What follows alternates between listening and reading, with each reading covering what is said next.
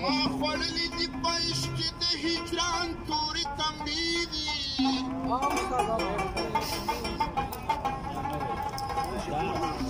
چې څوک خوند اخلي د عشقانو زندان پکې داسې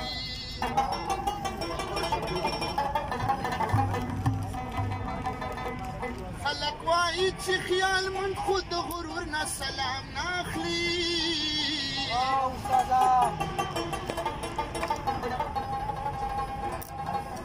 چې خپل ځان د چا نه ورک شي نو جهان